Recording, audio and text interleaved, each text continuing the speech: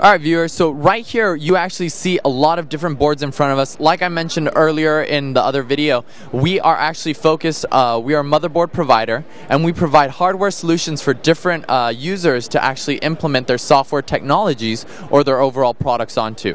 Right here in front of me, I have a J1900-D3V. The full model is actually GA-J1900N-D3V.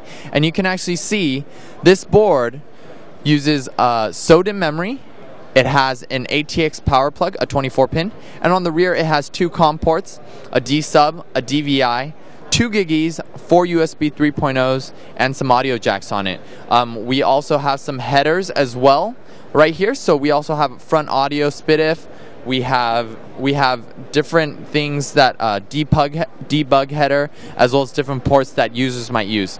The main point for this board is it's a great solution for those of you guys that are looking for uh, a larger larger product at a lower cost and it can still provide for a sleek form factor like this.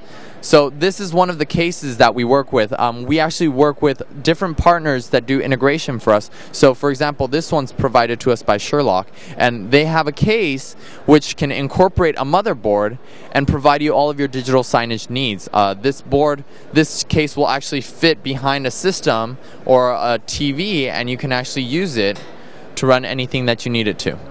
So these are one of the few varieties that Gigabyte has to offer with our motherboard line, and you can definitely find out more on our site, which is gigabyte.us.